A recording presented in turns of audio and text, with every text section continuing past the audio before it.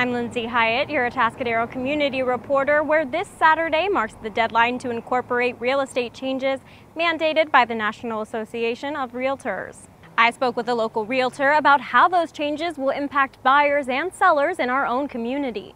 Effective Saturday, the real estate industry will change in two ways.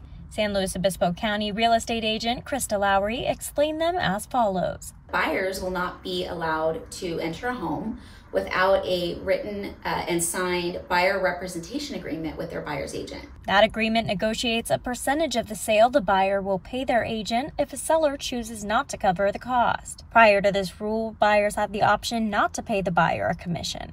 They had the option to not, but it was a standard that they did. It's a negotiable amount. That's the most important thing to know. The second change is that a listing agent is no longer allowed to put in the multiple listing service that there is a commission or concession for the agents. Instead, buyers will have to contact the listing agent directly about commission or concession information. Now, how does all that impact homeowners or potential buyers? Broker at Vineyard Professional Real Estate, Jenny Heinzen, believes this change could impact first-time homebuyers the most. A lot of times first-time homebuyers are stretching to for a down payment.